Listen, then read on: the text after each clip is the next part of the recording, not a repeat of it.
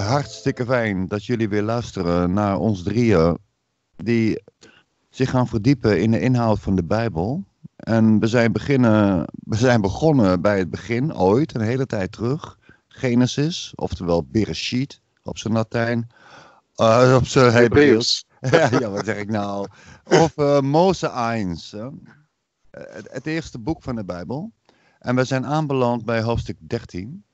En als eerste wil ik even, dat heb ik mij voorgenomen, ik heb het voorbereid, daar ben ik een beetje zenuwachtig, uh, wil ik dank zeggen aan het feit dat uh, twee Duitse heren ons, uh, Sumpfdeutscher, moerasduitsers, Nederlanders, willen helpen met het begrijpen van de Bijbel.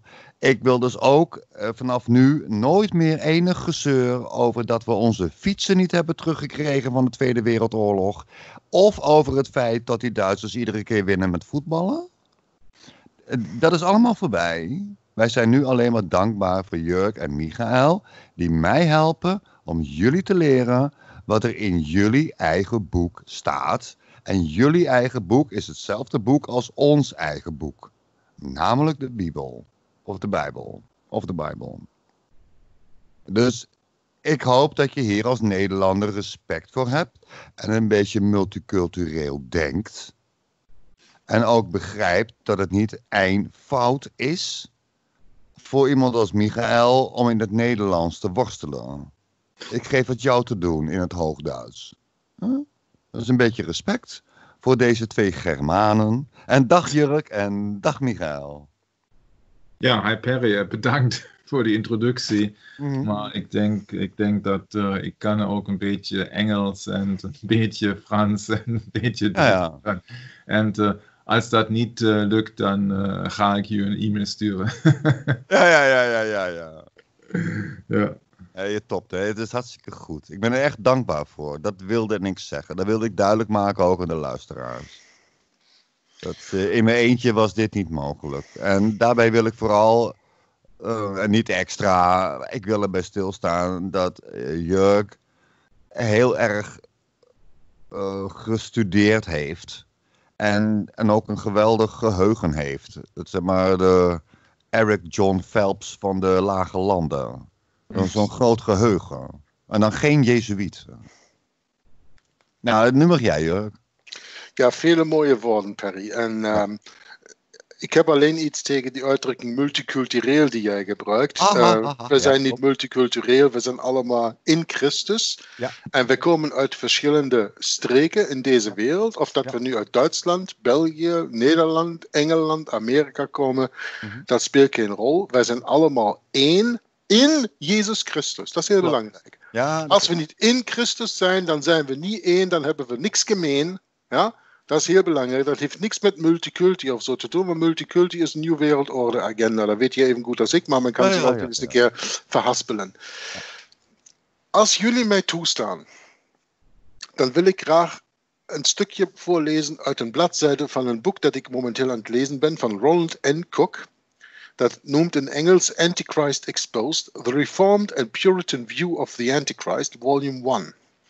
Dus de antichrist geëxposeerd, de gereformeerde en puritaanse eh, blik, zo zegt men dat, hè? blik, view, mhm, hè? mhm, mhm. op de antichrist. En ehm, dat heeft mij, ja, ik zal straks zeggen wat toen me dat geleid heeft. Dat is in Engels uiteraard, ik kan dat niet allemaal vertalen. Kom op, Dat is, dat is één, één ehm, alinea. Eh, een citaat uit een ander boek op bladzijde 160 van dit boek. Mhm. En dat zal zeker voor je Nederlandse luisteraars en kijkers heel interessant zijn. Ik ben benieuwd. The Inquisition of the Roman Catholic Apostasy. Upon the 16th of February 1568, a sentence of the Holy Office of Inquisition condemned all the inhabitants of the Netherlands to death as heretics. From this universal doom, only a few persons, especially named, were accepted. A proclamation of the king, dated 10 days later, confirmed this decree of the Inquisition and ordered it carried into instant execution without regard to age, sex, or condition. This is probably the most concise death warrant that was ever framed. Three millions of people, men, women, and children, were sentenced to the scaffold in three lines of words. Under this universal decree, the industry of the Blood Council might now seem to be superfluous. Men in the highest and humblest positions were daily and hourly dragged to the stake. Alva, in a single letter to Philip, Mm-hmm. coolly estimated the number of executions which were to take place immediately after the expiration of, the, of Holy Week at 800 heads. To avoid the disturbances created in the streets by the victims on the way to the scaffold, a new gag was invented. The tongue of each prisoner was screwed into an iron ring and then seared with a hot iron. The swelling and the inflammation, which were the immediate result, prevented the tongue from slipping through the ring and, of course, effectually precluded the possibility of speech. Jee. Wat ik juist voorgelezen heb, komt uit een boek dat is getiteld The Rise of the Dutch Republic. Dit boek werd gepubliceerd in 1913 in drie banden, drie volumes. Elk volume heeft denk ik meer dan 700 bladzijden van de auteur John L. Motley. En ik dacht, dat is heel spijtig dat dat niet in Nederlands beschikbaar is. Want als we dat boek in Nederlands konden krijgen, dan ging ik direct onze Bijbelstudie opzij zetten en zeggen van dat moesten we eens gaan lezen. Eh, de Bijbel is heel belangrijker dan, dan, dan iedere boek. Ja, De ja. Bijbel is zeker belangrijker als- elk ander boek, maar als je de verhaal hoort, wat ik hier juist voorgelezen heb, Michael, en verstaat, dan is dit een les die de mensen in Nederland eens een keer nodig hebben om te begrijpen waar hun ware wortels vandaan komen. ja. Vandaag de dag is Nederland, gelijk Duitsland en België, een land dat zo aardskatholiek is als maar kan zijn. Ja. Omwille van dat de mensen hun geschiedenis vergeten zijn. En dat wat Motley hier schrijft over de 16e eeuw, met precisie de 16e van februari 1568, 1568 waar het begint, is geschiedenis die vandaag niet in de scholen, niet in de universiteiten, niet op televisie en niet in de kerken geleerd wordt. Ja. En mij komt het, eh, allee, ik vond het heel belangrijk om dan ik erop te wijzen en dat ik een heel grote voorstander ben van de mensen te vertellen van de Inquisitie is al lang bekend. Want ik lees in Duits de drie banden, bijna 2000 bladzijden, dat werk van Henry Charles Lear. History of the Inquisition in the Middle Ages. Ja, de historie van de Inquisitie in de middeleeuwen. Ehm, ik, allee, ik ben het begonnen. Ik ben ver, ver, ver vanaf. Er komt zoveel andere dingen wat me daar tegenhoudt. Maar ik lees dat boek. En dit boek, Antichrist Exposed van Ronald en Cook, gaat ook enkele bladzijden wijden over de Inquisitie. En dit was zo eh, in een van de eerste bladzijden ehm, over de Inquisitie. Het was, eigenlijk, eh, eh, het was eigenlijk de eerste bladzijde over de Inquisitie die daar gaat. Ehm, na John Hus en de Bohemian Brethren en, en zo van die dingen verteld te hebben. En ehm, ik wou alleen maar zeggen van, ik vind het heel, heel mooi. En wil nu graag een keer van deze gelegenheid gebruik maken in deze video. Om de mensen te zeggen van, kijk, je kunt dat boek The Rise of the Dutch Republic verkrijgen op het internet. Ik zal zien dat ik dat binnenkort zelf op mijn eigen archive.org kan hoogladen. En die link daarvan is in de beschrijving van deze video. Als je dan daarop klikt en je gaat naar mijn archive-bibliotheek, dan kun je die boeken daar gratis en voor niks eh, afhalen. En dan kun je een keer gaan zien welke prachtige historie van protestantisme Nederland eigenlijk heeft, waar vandaag niemand niet meer over spreekt. Nee. Dat is in vergetelheid geraakt. Precies gelijk het, de studie van de Bijbel in vergetelheid geraakt is. Daarom doen we ook deze Bijbelstudie. En ik wil daar niks van afnemen. Michael heeft 100% gelijk als hij zegt: er is geen enkel boek belangrijker als de Bijbel. Dat is vol- volledig juist. Maar we mogen ook niet vergeten dat de Bijbel voor vele mensen een zeer complex boek is. En dat aan de andere kant een boek dat over echt geschiedenis gaat, veel mensen zou ook zeer kunnen interesseren.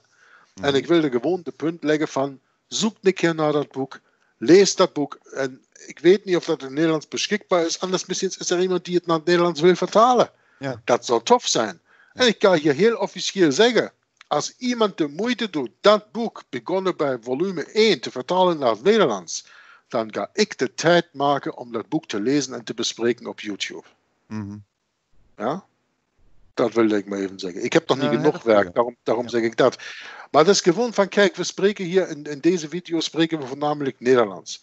En we spreken voornamelijk onze Vlaamse of Nederlandstalige broers aan, broers en zussen. En die zijn heel vaak in een, in een punt dat ze op een heel, ehm, laten we maar zeggen, op een, op een ehm,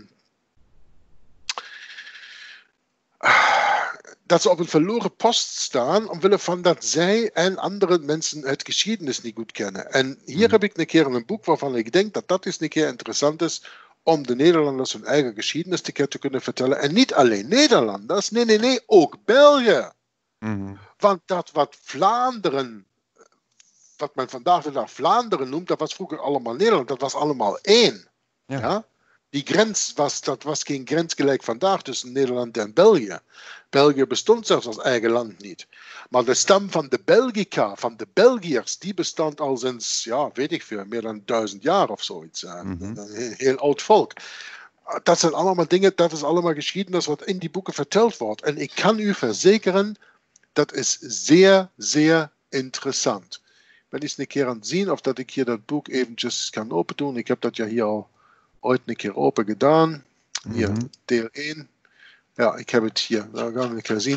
In het begin, daar was denk ik iets heel interessants geschreven.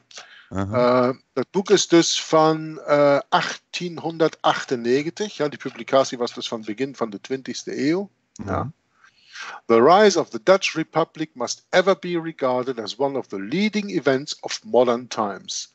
Nou, als ik dat al als inleidingszin in zo'n boek kan verstaan, Ja. dan is dat toch waar ik als Nederlander een beetje meer van wil weten. Hoe is dan de Nederlandse Republiek zo belangrijk in de geschiedenis? Mhm. Wie weet daarvan? Huh? Ja. Versta je? En dat, da- Ik, daarom heb zeg het ik. hier, eh, ik heb het hier in beeld momenteel. Ah ja, oké. Ik heb mijn PDF hier vandaar. Without Ah, ja. the birth of this great commonwealth, this, uh, the various historical phenomena of the 16th and following centuries must have either not existed or have presented themselves under essential modifications. En zo verder, en zo verder. Ja. Ik heb daar straks nog ergens anders een, eh, een citaat gelezen.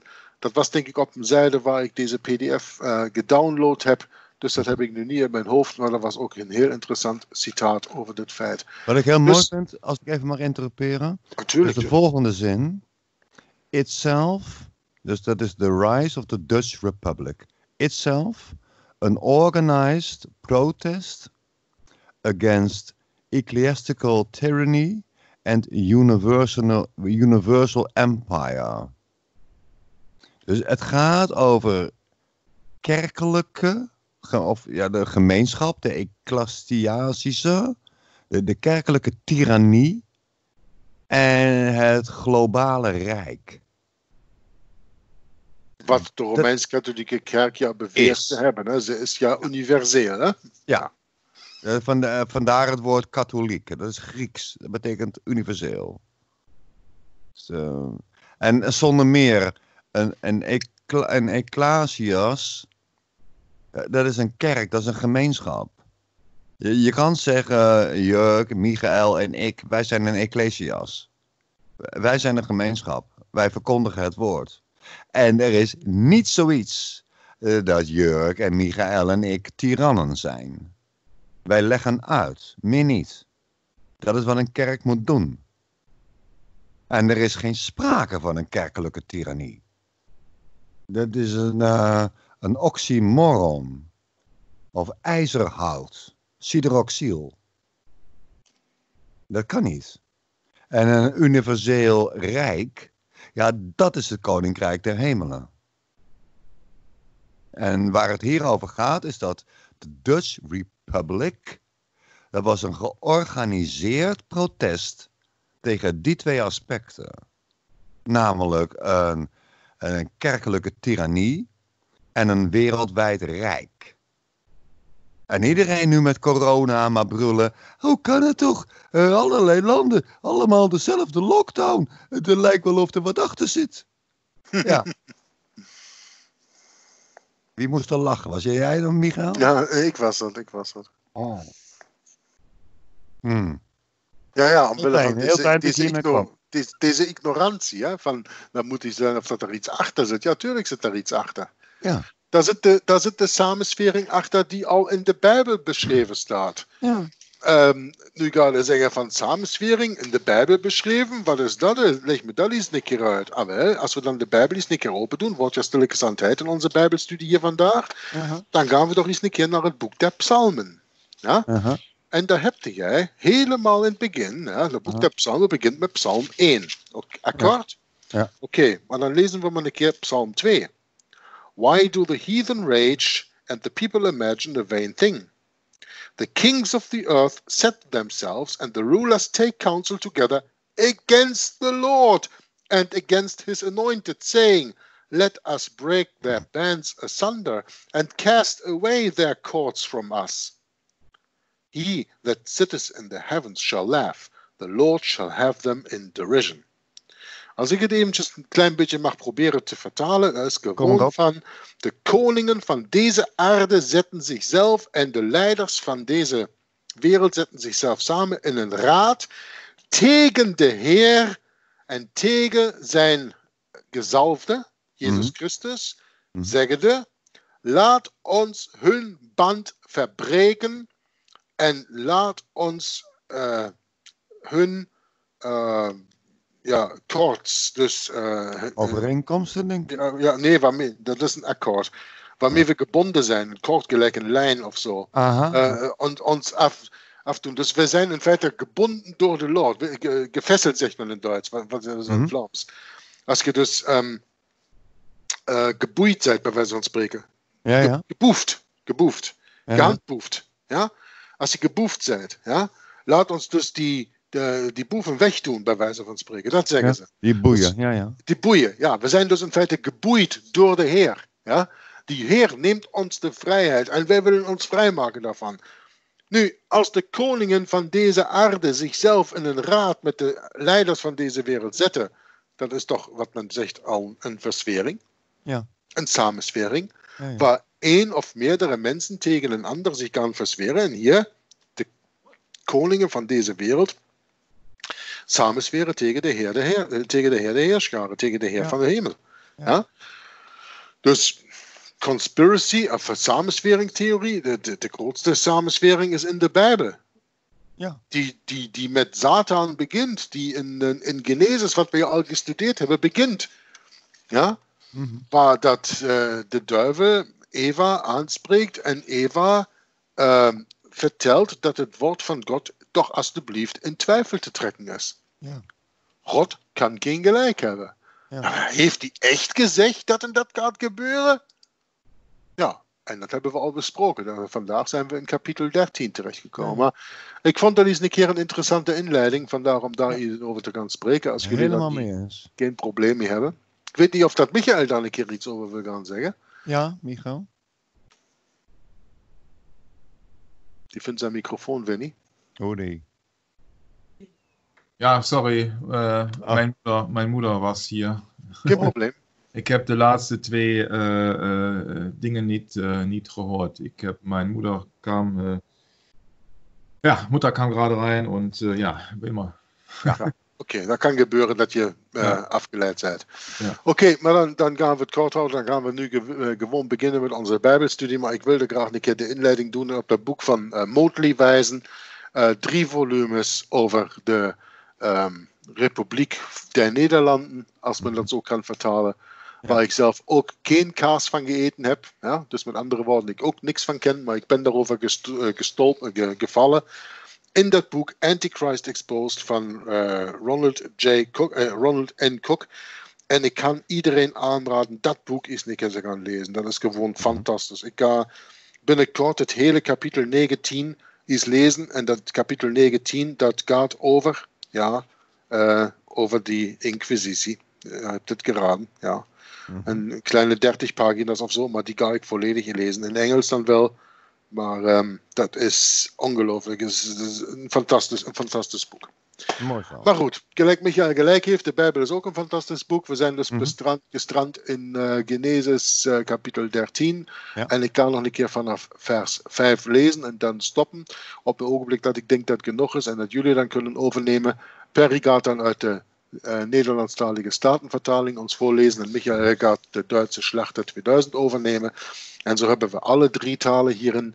En eh, gaan we hopelijk wel niet multiculti, maar wel grensoverschrijdend de mensen in Christus allemaal aanspreken met het Nou, woord moet je mij laten lachen.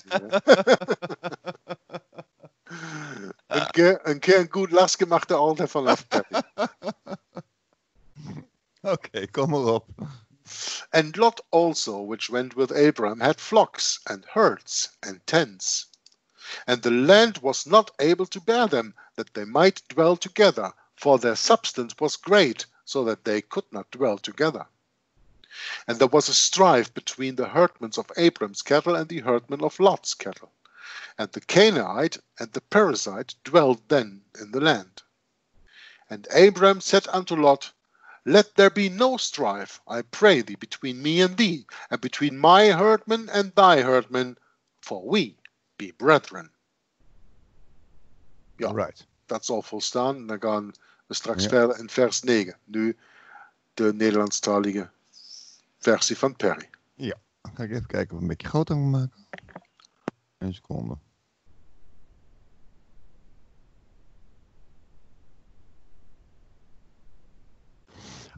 Alzo toog Abraham op uit Egypte. Nee, ik ben te, te ver. Ik zit eventjes te friemelen met mijn toetsenbord. Maar ik heb een nieuw toetsenbord en dat gaat niet helemaal goed. En Lot, die met Abraham toog, had ook schapen en runderen en tenten. En dat land droeg hen niet om samen te wonen, want hun haven was vele, zodat zij samen niet konden wonen. En er was twist tussen de herders van Abrams vee en tussen de herders van Lots vee. Ook woonden toen Canaanieten en Ferezieten in dat land. En Abraham zeide tot Lot, laat toch geen twisting zijn tussen mij en tussen u, en tussen mijn herders en tussen uw herders, want wij zijn mannenbroeders. Nou, dat. Ook die een beetje. Aber auch Lot, der mit Abraham ging, hatte Schafe, Rinder und Zelte. Und das Land ertrug es nicht, dass sie beieinander wohnten, denn ihre Habe war groß, und sie konnten nicht beieinander bleiben. Und es entstand Streit zwischen den Hirten über Abrams Vieh und den Hirten über Lots Vieh. Auch wohnten zu der Zeit die Kanaaniter und Pheresiter im Land. Da sprach Abram zu Lot, es soll doch nicht Streit sein zwischen mir und dir, zwischen meinen Hirten und deinen Hirten, denn wir sind Brüder. Ja, als we iets Ja. willen bespreken over deze paar gelezen versen, dan vind ik het heel belangrijk dat we naar de laatste vers direct gaan, vers 8, waar het heel Mhm. duidelijk is. Uh, we lezen in, uh, op het einde van vers 7 dat zij in een land wonen dat ook bewoond wordt van Kanaanieten en Ferezieten. Mhm. Ik ken de Ferezieten niet, maar ik veronderstel dat die even uh, heidens zijn als de Kanaïten. Mhm. En wie de Kanaïten zijn, dat weten we nog van Kanaan, die ja de uh, buitennatuurlijk geboren zoon was van, Ja. Van Noah. van, Ah, nee, van, eh, van. Shem. Hè? Ham. Ham of Shem. Ik kom altijd met die broers daardoor elkaar, met die zonen van Noah. Maar dus van een van die zonen van Noah's, die dus blijk- blijkbaar ehm, dus eh Kanaan eh, geboren heeft door met de, Mhm. Äh, das ist Frau der von Sohn, seinem der Vater. Sohn von Ham. Kanaan de, ist. zoon, de zoon van Ham. Ja, en Ham Ja, ja. was dus. Ja, ja, Ham heeft dus met. ehm, En zijn Eh, moeder. met, seks met gehad. nee, nee, met, niet, met, niet met de moeder, maar met de vrouw van Noah. Dat is, Mhm. dat is niet hetzelfde. Hij zal het niet met zijn moeder gedaan hebben, met, Mhm. met, zijn, met zijn moeder, maar wel met de vrouw van Noah op dat ogenblik. Zijn vrouw was waarschijnlijk al, of zijn moeder was waarschijnlijk al overleden, veronderstel ik. Allee, de Bijbel geeft het niet her, maar dat zal, dat zal tenminste logisch zijn. Het zal niet logisch zijn dat hij met zijn eigen moeder geslapen heeft. Ja. Zwart. Ehm, we willen hier ook geen, geen seksverhaal van maken. Het is gewoon Nee, nee. heel simpel dat we weten dat de Kanaanieten eh, toen van Noah vervloekt geweest zijn. Mhm. En dat, die, dat ze dus sowieso al in een, in een land onder vijanden leven. Namelijk de Canaanieten en de Ferizieten, zijn de vijanden van zowel Abraham als van Lot. Mhm. En daarom zegt Lot, jong, laat ons toch niet nog ruzie maken. We hebben al problemen genoeg met die mensen naar buiten, met de Canaanieten en de Ferizieten, met die we eh, hier in vijandschap moeten gaan leven. Wij zijn toch broers? Wij zijn min of meer van hetzelfde bloed, want die twee hebben een verwantschap van, ik dacht, oom en, en cousin, als ik mij niet vergis. Mhm. Ehm, dat Abraham de oom van eh, Lot was. Mhm. Als ik het nog bijeen krijg in die eh, genealogie die wij gelezen hadden. Die twee zijn dus in elk geval van één bloed. En daarom zegt hij van wij zijn mannen, broeders. Vooral ook bedoelt hij hiermee, denk ik ook, eh, in de Heer. Ja, wij geloven toch in dezelfde God ook. Ja, ja. Dat wij dus broeders zijn. En wij moeten toch samen staan tegen onze gemeenschappelijke vijanden. Mhm. Dat lijkt me eigenlijk een, een heel belangrijke punt hiermee bij. Ja? Ja. Ehm, dat, in, dat in vers 8 is. Zo versta ik dat, maar ik mag natuurlijk ook altijd graag een keer jullie mening daarbij horen. Ik, eh, ik, ik schaam me daarmee aan. Dat, eh, Ja, ik denk, ik denk dat eh, de Bijbel hier die uh, heresieten noemt, als die ook heden zijn. En dat is een beetje vijandsland. Of Aha. zoiets. Ja, dat is eh, mijn verstand. eh, Ik denk dat het eh, juist is hier. En de Kanaanieten, altijd als ik de Kanaanieten lees, dan denk ik, eh, oh, waar is mijn alarmklok? aha. Ja, ja, ja. Ja, want dat bedoelt, eh, ik denk dat bedoelt dat eh, daar is eh, een beetje een gevaar in dat land. Want eh, ja, dat eh, zijn mensen die eh, een, een vreemde eh, god eh, aanbeden. Ja. Met, eh, ja, Baal, Baalskult. Ja. Ja. Kanaanieten, Heiden- Ka- heidenen zijn, Kana- ja. Kana- Kannibalen, ja Mhm. zijn de priesters van de, van de Waal. En eh, ja, dus eh, als, als dat eh, genoeg genoemd is hier in de Bijbel, Kanaanieten, dan denk ik dat het ook een, eh, een hinwijs, eh, een Mhm, tip mhm. of zoiets is, eh, dat, daar iets, eh, dat, dat, dat hij iets voorzichtig eh, zijn moet in Ja. dat land. Ja. En eh, dus hij, eh, hij trekt verder. Mhm. En die twee, Abraham en Lot, die zijn niet meer samen, maar hij trekt dan in een land ehm, ja, waar ook eh, vijanden zijn om hem. Om hem. En, ik, en ik denk dat, dat zie je, hij heeft nog geen oude naam, de Abraham, die is nog niet Abraham. Nee. Ja? Maar hij is eh, altijd, heeft hij te doen met vijanden. Dat was in het laatste kapitel met, de, wat was het, de farao, ik denk. Farao, ja. Farao, ja. Ah, ja. En dan, dan heeft hij eh, ruzie met Lot.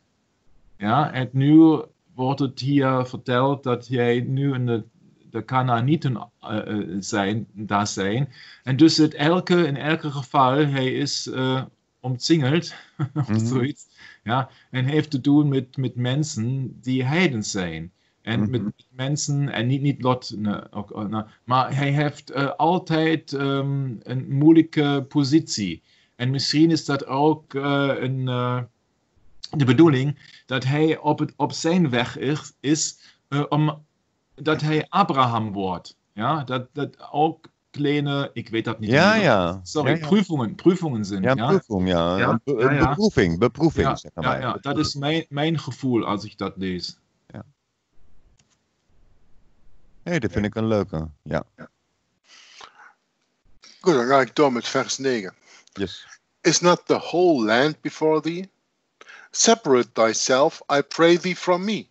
If thou wilt take the left hand, then I will go to the right. For if thou depart to the right hand, then I will go to the left. And Lot lifted up his eyes and beheld all the plain of Jordan, that it was well watered everywhere before the Lord destroyed Sodom and Gomorrah, even as the garden of the Lord, like the land of Egypt, as thou comest unto Zoar.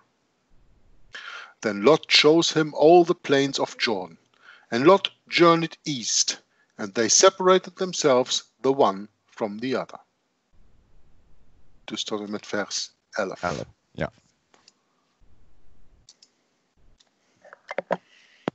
Is niet het ganse land voor uw aangezicht? Scheid u toch van mij.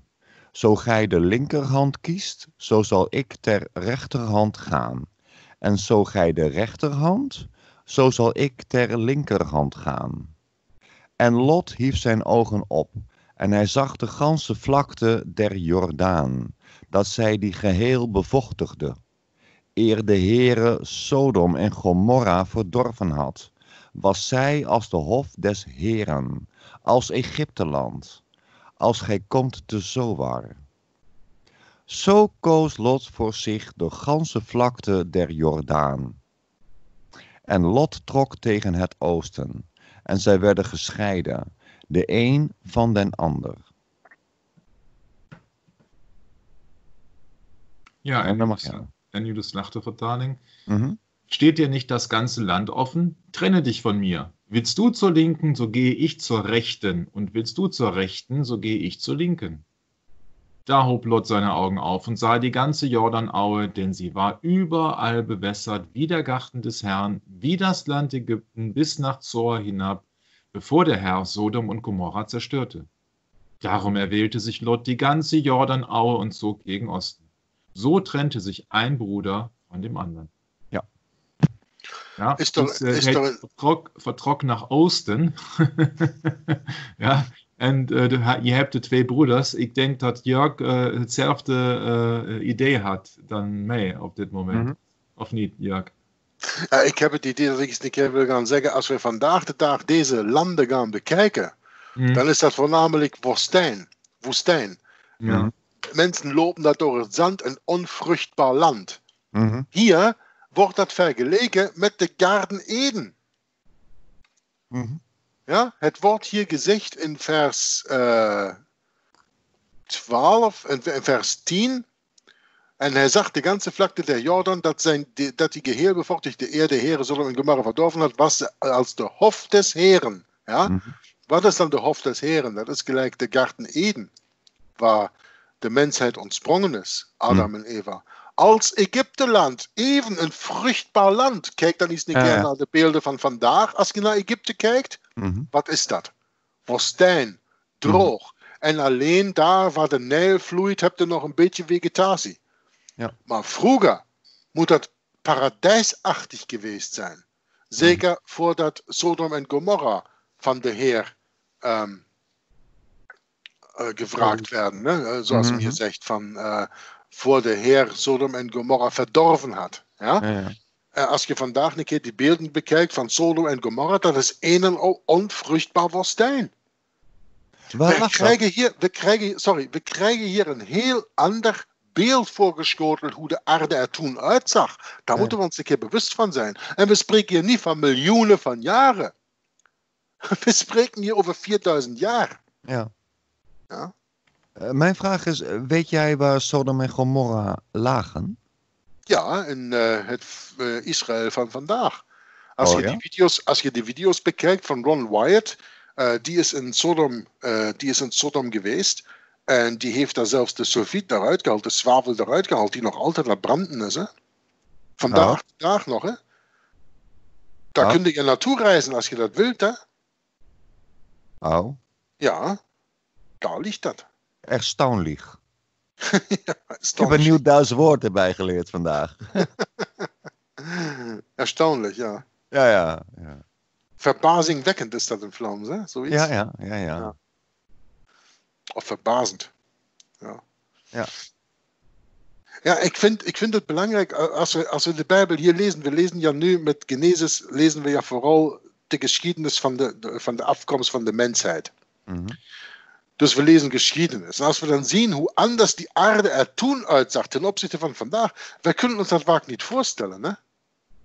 Ik, ik wil daar graag nog een keer een ander voorbeeld gaan nemen. Als we een keer teruggaan naar de Garten Eden, Mhm. waar de mens geschapen werd. En als we dan lezen dat de slang listiger was dan alle andere dieren van de, eh, van de aarde, dan weten we alleen dat na de verleiding van de mens God de slang op de bodem heeft doen kruipen voor de rest van zijn leven. Mhm. Maar we weten niet hoe de slang uitzag als ze Eva verleid heeft. Hè? Nee. Dat kan een ganz ander, of dat moet een ganz ander, tussen aanhalingstekens, beest geweest zijn. Hè? Jazeker. Ja?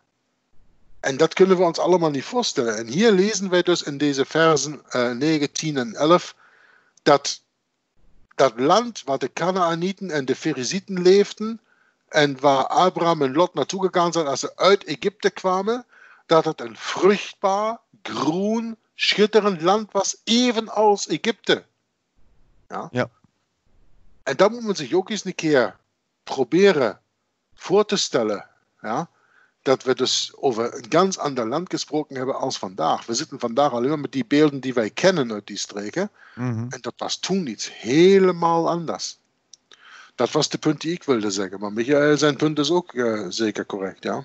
Mhm. Ja, bedankt.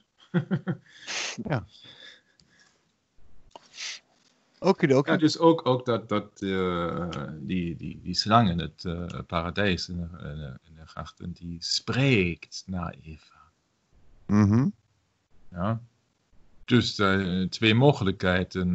Het is A, de eerste mogelijkheid is, het is iets bijzonders dat die slang kunt spreken. Of twee, de tweede mogelijkheid is, oh, alle dieren spreken in de Garten of Eden. Mhm.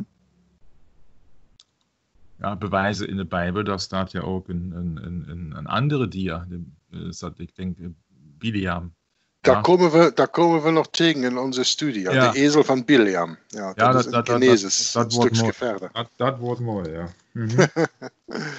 Ja, maar dat, eh, dat, alle dieren, dat alle dieren in, eh, in de Garten van Eden na de schepping eh, gesproken hebben. Ik zal nu niet per se zeggen dat zij gesproken hebben, maar ik zal zeggen van dat de mens toch waarschijnlijk een manier had om met die dieren eh, te communiceren Mhm. op een manier dat ze elkaar verstonden. Aha. Anders is het niet logisch dat de slang tegen de mensen sprak. Vooral Eva zal waarschijnlijk eh, sowieso al een hartinval gekregen hebben als ineens dan een slang begint te spreken tegen haar. Ja, ja, ja. Ja? Ja, ja. Ja? Dus men, men moet daar echt eens een keer proberen dat met andere ogen te gaan zien. Hè? Als- want wij kennen dat alleen gelijk dat van daar uitziet, of gelijk de slang van daar uitziet. En als we zeggen van ja, en die slang praat daar, dan heb je dat beeld voor ogen, gelijk Walt Disney dat tekent in, ehm, Ja, ja, het eh, met, met, met Mowgli daar in dat dschungelboek. Hè? Oh ja, ja. ja, ja. Ik denk ook dat dat een referentie is, uh, de Mowgli. eh, Zonder meer, zonder meer. ja. Ach nee, ja, ja, natuurlijk ik- is het dat. ja, Juist daarom is dat zo gedaan. Hè? En dan met dat hissing, also met het zzz letter, zo, zo gelijk die spreekt. Hè? Ik kan dat niet je, hebt nadoen. dat, maar- je hebt dat niet één keer bekeken, hè? Je kunt dat zo goed, je kunt dat zo goed eh, karaoke doen. Het is, het, het is eh, toch misschien eh, al een veertigtal jaar geleden dat ik het nog gezien heb. Maar ik heb het uiteraard Ja. waarschijnlijk toen verschillende keren gezien, ja. Ehm, het laat een indruk achter. Hè. Dat, zijn zo, dat zijn zo dingen die, die zie je een paar keren in je leven. En daar zijn beelden in die, die vergeet je nooit. Hè. Mhm. Probier's mal mit Gemütlichkeit, mit Ah. Ruhe und Gemütlichkeit. Ne, als dan de Beer Baloo Oh, Perry, aan het ik zingen moet is en dat zo. iedere, iedere, Ah. keer, iedere keer als wij lessies doen, sessions doen op het internet, iedere keer eh, begint eh, Jörg te zingen. Also iedere keer. Ah, Ik ben een vrolijke mens aan het worden. Wees toch Ja, blij dat omdat is de, Heer mij zo hartstikke vro- dat de Heer mij zo vrolijk maakt. hè? Vrolijk. Terecht. Vrolijk, hè? een klein verschil. hè? Oké? Eh, Vrolijk is hondenvoer. Ehm, ja. nee, maar serieus. We moeten eens een keer gaan bedenken dat die, die aarde toen heel anders was als dat wij ze vandaag de dag kennen. Ja. En het is natuurlijk dan een beetje moeilijk om zich dat voor te stellen. Maar eh, ja, het begon je al daarvoor al ehm, dat er een hongersnood was en dat Abraham daarom met heel zijn familie naar Egypte getrokken is. Ja. Ja, als je vandaag de dag op de landkaart kijkt of televisie gaat kijken hoe Egypte eruit ziet, zou je daar naartoe gaan als een hongersnood ergens is? Ik denk het niet, hè? Nee, nee. Dat is ook niet veel te eten, hè? nee. Maar toen was dat dus wel, bij wijze van spreken, de korenkamer van, van het Nare Oosten, zeg ik maar. Mhm, mhm. Gelijk vandaag de dag, men zegt bijvoorbeeld van de Oekraïne, de korenkamer van, eh, van Europa is, of was. Mhm. Voordat Stalin dat daar eh, vernietigd heeft en miljoenen Ja. mensen eh, de dood door eh, verhongeren ingejaagd heeft en dergelijke dingen meer. Dat even tussendoor, dat wordt ook gezegd van Sicilië. mhm. Ah, nog- ja. Ik heb zo'n boek hier in huis. Het heet eh, Mannen van Eer. Het gaat over de geschiedenis van de Siciliaanse maffia. Mhm. En daarin staat dat. En daarin staat ook dat het hele gedoe met die maffia eh, in nauwe samenwerking met de universele kerk of de universele eh, wereldrijk gestart is. Nou ja, eh, de maffia is niks anders dan een afdeling van vrijmetselaars die Mhm. onder controle van Jezuïeten zijn. Hè? Ja, ja. De maffia is onder controle van Jezuïeten. Daar is er nu geen vraag aan. Hè? Dat weet iedereen die zich daar een beetje mee bezighoudt, denk ik. Ja, als je het, maar niet iedereen die hier naar luistert weet dat al. En ja, wij papegaaien dat maar even door. Nou ja, kijk dan een keer films gelijk The we ze dit God, beseffen. Ja. Kijk dan een keer films gelijk The Godfather. En als je daar die Ja. verbinding met de Romeins-Katholieke kerk met de maffia niet ziet, dan kan ik je ook niet meer helpen. Hè? Nee, nee, nee. En even voor de kijkeraars, eh, die serie The Godfather. Dan moet je niet alleen deel 1 kijken, maar even doorkijken. En dan eh, zie je een hele leuke verfilming van eh, mannen in zwarte grote jurken. Die praten over geld. Want dat is waar het om gaat. Want Ja. in de Bijbel staat, de liefde voor geld is de bron van al het kwaad. Tof Dus dat je dat zegt? Ferry. Sorry, ik moet je direct onderbreken. Tof dat je dat nu zegt. Want gisteren hebben we in een lezing van de Satanische Media Agenda, die ik met Michael doe, eh, dezelfde eh, Bijbelcitaat aangehaald. Dat staat in eh 1 Timotheus ergens daarin. Mhm. Dat de liefde naar, eh, naar het geld de, de wortel van alle euvel is. Ja. En wat is in de Duitse vertaling dan weer? In de slachtervertaling? Michael, Mhm. zal, wil jij het zeggen of zal ik het zeggen wat zij weer gedaan hebben? Ja, jij kent dat äh, auswendig. Ja, in de slachtervertaling staat dat de liefde naar het geld één wortel van alle euvel is. Ah, nur eine. Ah ja, dus dat wil zeggen, daar zijn er meerdere wortels van het euvel. Ja. Maar de King James zegt heel duidelijk, het Ja. is de wortel Ja. van alle euvel. Niet één wortel van alle Nee. euvel. Dus de. De Duitse vertaling laat dus weer, eh, of geeft een mogelijkheid terug om het woord van God in twijfel te trekken. Mhm. Ja? Je zegt van, wat zijn dan die andere wortels van het euvel? Want als er één is, dan moeten er ook andere daarbij zijn. Ja, ja. Anders is de wortel. Wel, ja? Dus sorry dat ik je onderbrak, maar dat moest ik eens eventjes een keer Ja, kwijt. Terecht. Ja, Daarom dat is des te belangrijker dat men verschillende bijbels naast elkaar legt. Mannen, lieve broers en zussen, daarom doen we hier drie bijbels naast elkaar leggen om te zien waar zulke fouten kunnen gaan opduiken. En gisteren, als ik met Michael die lezing deed, is precies die fout, opgedoken. Ik was al direct weer onder het plafond. Ja. Op 180 graden, bij wijze van spreken. Ja, ja, ja, ja, ja. ja. Ja. Oké. Ja, als, als, je, als je hier die, die, de Pate äh, benoemt, ja, de Godvader. de, de, de Godvader, ja, Mhm. da denke ich an äh, Marlon Brando. Ja. Ja, En wie is de Godvader van de Romeins-Katholieke Kerk? De paus. Ja. ja de, de, de, de, de, de echte Man in Black. Ja. Ja. ja? Niet, niet äh, Will Smith, ja? maar Ja. de generaal van de Jezuïten. Wie dem eh, Peter Hans Kolvenbach. Nou ja, dat is nu Arturo Sosa. hè? Ja, ja. Dus, Peter Hans Kolvenbach is de laatste, de laatste Nederlandse. Ja. Dus uit jouw land oorsprongen Jezuïet. Maar daar moet er niks van aantrekken. Die kennen geen, geen alliantie met dat land waar dat ze vandaan Ja. komen of waar ze naartoe gaan. Die kennen alleen een alliantie met de Romeins-Katholieke Kerk. Ja. Dus voor Peter Hans Kolvenbach speelt daar helemaal geen rol of dat men in Nederland geboren zou geweest zijn, of in Amerika of in Afrika. Nou, daar misschien wel, want dan was een beetje donkerder van huidskleur. Daar had hij misschien wel wat uitgemaakt. Had hij misschien niet die positie gehad die hij gekregen heeft. Want ik heb Mhm. daar tot nu toe nog geen daadwerkelijk zwarte van huidskleur gezien in die ehm, dingen. Maar ze worden donkerder, hè? Ze worden donkerder. Arturo Sosa komt nu ook uit Zuid-Amerika of Middel-Amerika, uit Venezuela. mhm. Ehm, dus eh, wie weet komt er nog een keer een zwarte. Misschien krijgen we nog een zwarte-witte paus. Misschien krijgen we nog een keer een zwarte-zwarte paus. Wie zal het zeggen? Ehm, het speelt allemaal geen rol. De Bijbel zegt, ehm, de mensheid is gemaakt van één bloed. Mhm. En dat bloed kan eens een keer, verschillende kleuren naar buiten toe dragen. Maar naar, binnen toe zijn ze allemaal rood en zijn ze allemaal gelijk in dat opzicht. Dus eh, dat speelt allemaal geen rol. Maar dus je hebt de laatste eh, superior generaal, dus de hoofdgenerale van de Jezuïtenarmee, heb jij uh, Peter Hans Kolvenbach en daarna had je dan Adolfo Nicolas. En nu Adolfo Nicolas in 2016 afgedankt heeft, heeft Arturo Sosa overgenomen, die Mhm. Venezuelaan die daar nu het scepter Dan- zwaait. Eh, dan wisselt dat wel snel, want Peter Hans Kolvenbach was best lang zwarte. Ja, die was zeer lang. Die heeft overgenomen van die mens daarvoor. Eh, Arupo, dacht ja, ik. Arupe. Rupo. Ja, Rupo. Arupe. Arupe. Ja. Ja, Arupe. Ik denk dat hij Arupe, eh, Arupe noemt en niet Arupo, Arupe.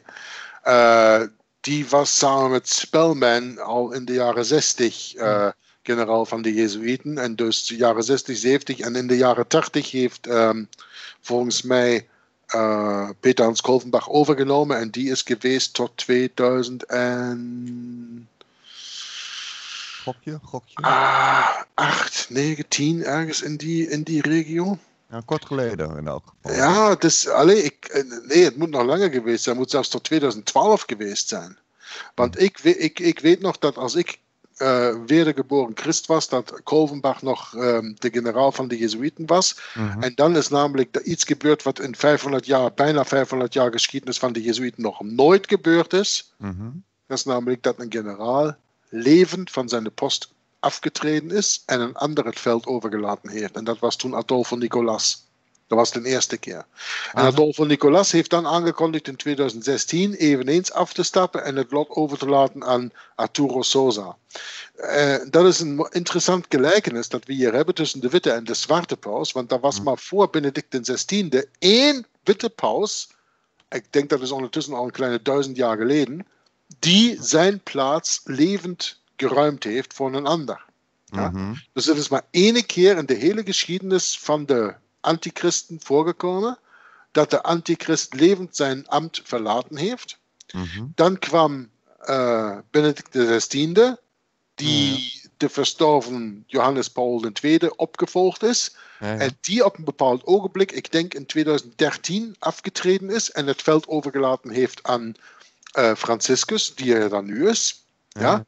En dus het geschiedenis daarvoor was juist daarvoor, is dus Kolvenbach afgetreden en heeft het Adolfo Nicolas overgelaten.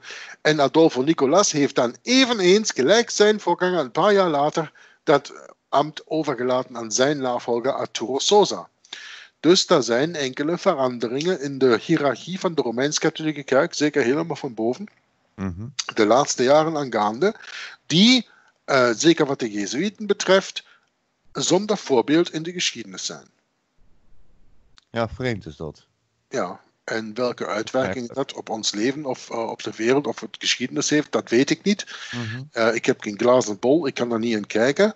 Maar dat zal zeker een bepaalde reden hebben. Maar die kan ik u ook niet zeggen. Maar het is alleen maar, wij vernoemen de feiten. Wij vernoemen de waarheid. En wij verliezen ons niet in eindeloze speculaties over dergelijke dingen. Ja? Want dat haalt niks uit. Maar de feiten noemen en dan te zeggen van denk daar zelf een keer over na. Doe, doe je eigen navorsing. Wat altijd enorm belangrijk is. Dat iedereen zijn eigen onderzoek doet in dergelijke dingen. En zich dan op basis van zijn eigen onderzoek ook zijn eigen mening kan vormen daarover. Dat is ook heel belangrijk. Dat men niet zomaar eh paroteert. eh, ik weet niet hoe je dat zegt. eh to Ja, parrot. paroteert, na, ah, napraten. Ja, napraten. Dus eh, gelijk de papegaai naspreken wat een ander voorgeeft. Hè? Ja? Eh, Hitler was een heel beroemde papegaai. Ja? Die heeft alles nagepraat wat de paus hem voorgezegd heeft. Ja, ja, ja, ja. andere. Ja, dat is in ehm, Behind the Dictators en ik denk ook in eh, Secret History of the Jesuits ehm, maken die autoren gebruik van deze uitdrukking over eh, Adolf Hitler. Ja. Wauw. Vandaar, wij moeten onze eigen individualiteit benadrukken en hebben, want we zijn niet allemaal hetzelfde. Nee, nee, nee, nee. Perry en Michael en ik, we zijn broeders in Jezus Christus, maar we zijn allemaal onze eigen individuum, onze eigen ehm, individuele personaliteit. Tuurlijk. Goed, En zo is het Ehm, verdeeld. Ja. ja, ik- weet niet, als Michael misschien nog een opmerking heeft, of zo, anders ga ik verder met vers 12. Ja, ja, eh, ga maar verder. Okay. In verse 12, Abraham dwelt in the land of Canaan, and Lot dwelt in the cities of the plain, and pitched his tent toward Sodom. But the men of Sodom were wicked, and sinners before the Lord exceedingly. Zover zal ik nu lezen, 12 en 13. Oké. En Ab- Abraham dan woonde in het land Canaan. En Lot woonde in de steden der vlakte. En sloeg tenten tot aan Sodom toe. En de mannen van Sodom waren boos. En grote zondaars tegen den Heere.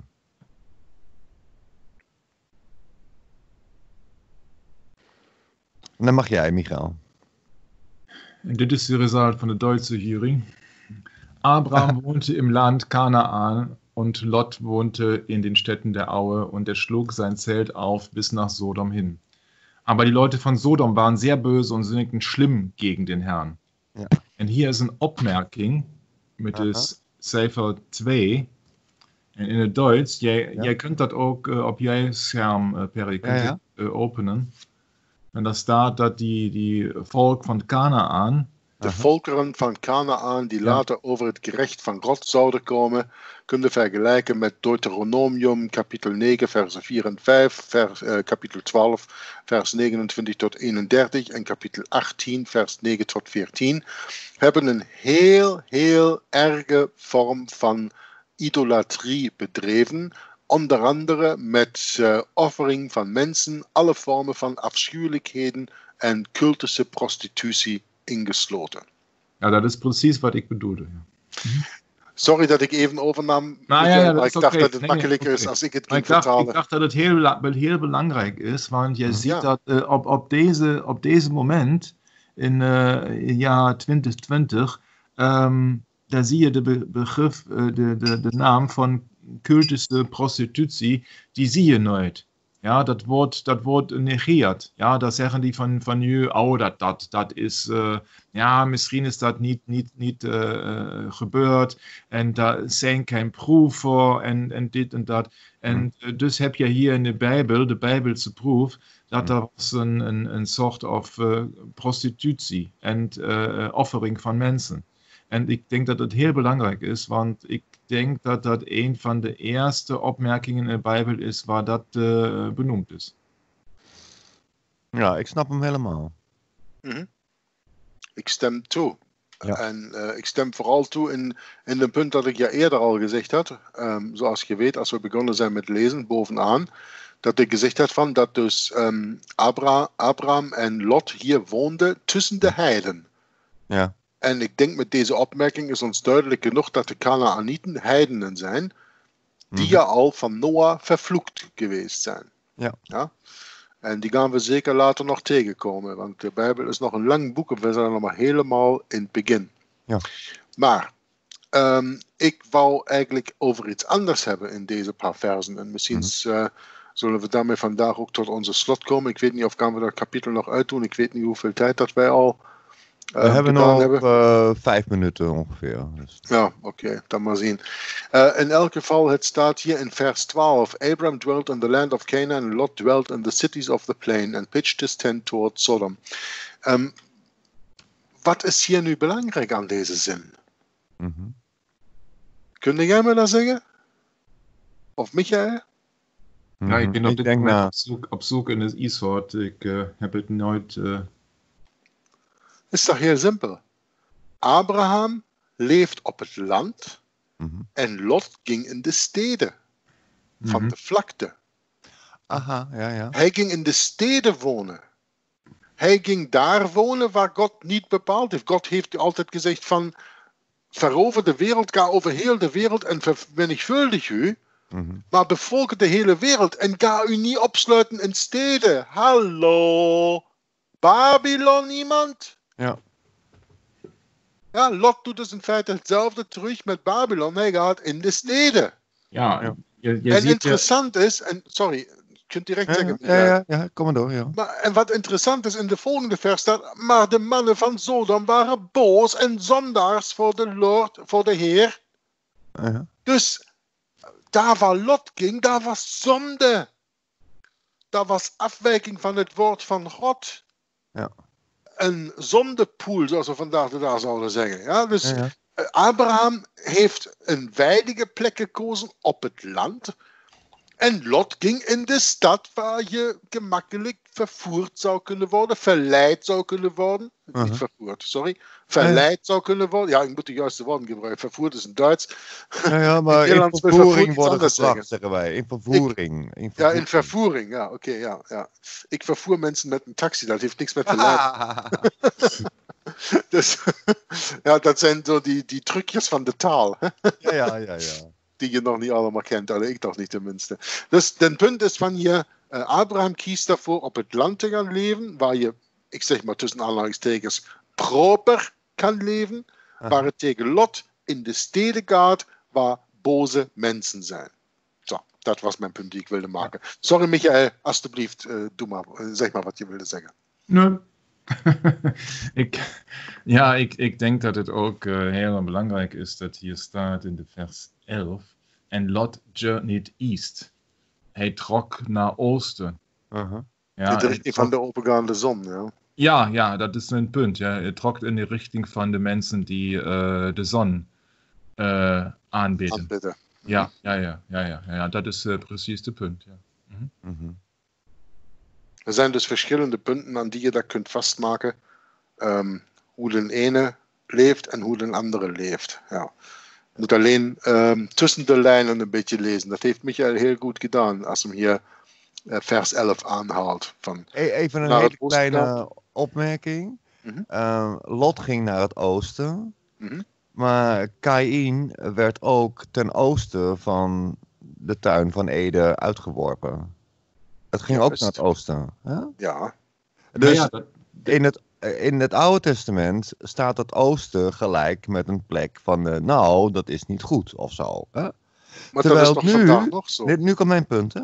Nu is vooral het Westen in de media. Hè? Het Westen is zo fout. Ja, ja, ja, ja. Je ze draaien natuurlijk alles om, hè? Ja. ja, dat is juist. Het, het oosten is nog altijd erg. Omwille van het oosten heb je landen gelijk Indië, China en Japan. Mhm.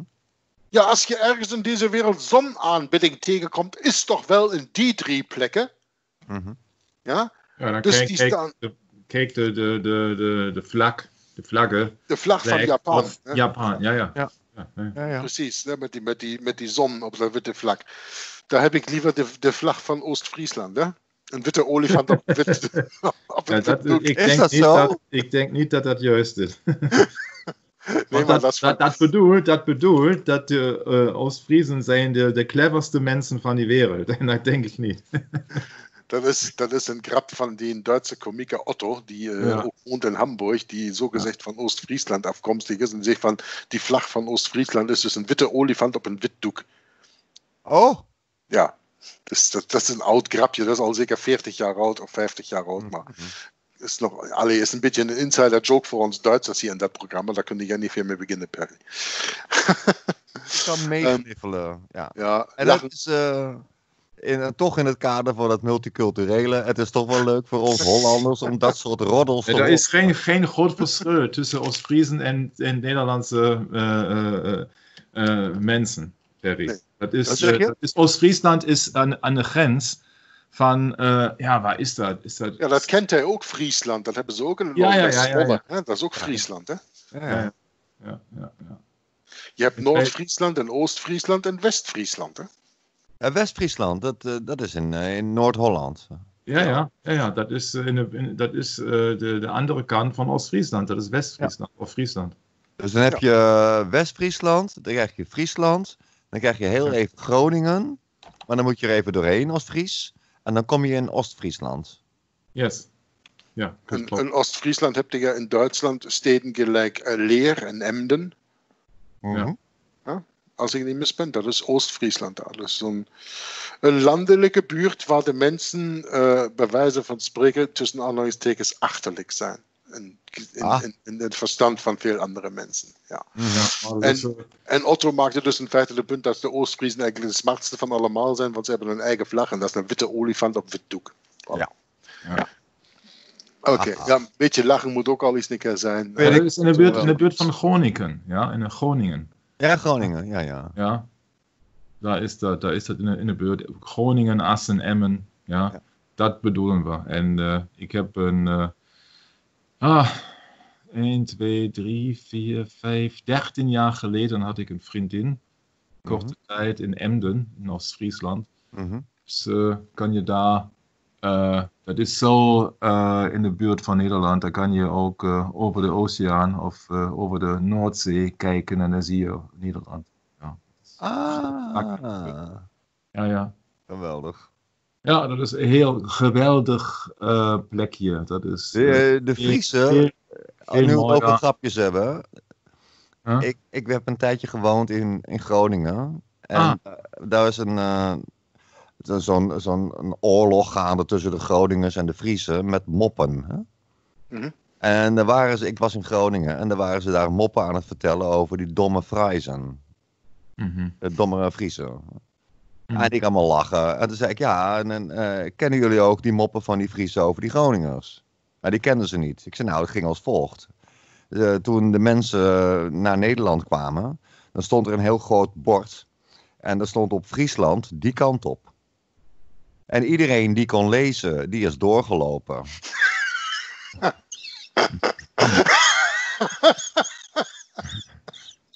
En die Groningers, die werden boos, joh. Ja, maar... Oh, ja. Dat is een goeie.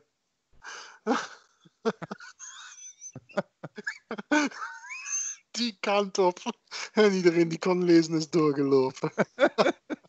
Ja, schitterend. Oh, jong, ik kan me geen betere moment bedenken om deze Bijbelstudie tot een einde te brengen als een keer Ja, dat vind ik ook. Dat vind ik een ook. andere manier en volgende keer dan verder te gaan in vers 14. Ja, ja, we hebben genoeg pagina's te gaan, zou ik zeggen. Alles. genoeg tijd om serieus te zijn, ja. Hey, ontzettend bedankt jullie beiden. Willen jullie nog wat zeggen ter afscheid? Nou, Nee, ik- ben ik- nog ik- altijd Deze, niet, niet deze keer, nee. Oh, oké, dokie. En jij, Jurk? Nee, ik ben nog altijd aan het lachen. Ik kan niks zeggen momenteel. Oké, nou, jullie hartstikke bedankt voor het luisteren. Kan ik hier naar Groningen? Ik kan het zijn gaan zoeken wat daar staat.